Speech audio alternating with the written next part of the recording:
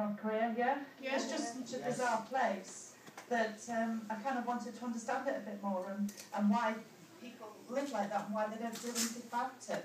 You know, like some people will risk trying to escape and others won't. So really it just came from, from wanting to understand it and um, then I started reading around and finding out more about the people. I've got some of the books I used uh, here. You see those? Yeah? Yeah. And they kind of, um, oh, that one is a detective novel written by a man who used to be in the CIA apparently. So, um, and it's, you know, about getting of like background information. That one's very good for anybody particularly interested in North Korea. Yeah? Um, and then as you find out more, you kind of think, well, I really want to include that. Um, it's like I didn't know anything about the prison camps there um, until I started researching it, and then you think that's uh, such an important part of it that I really wanted that to be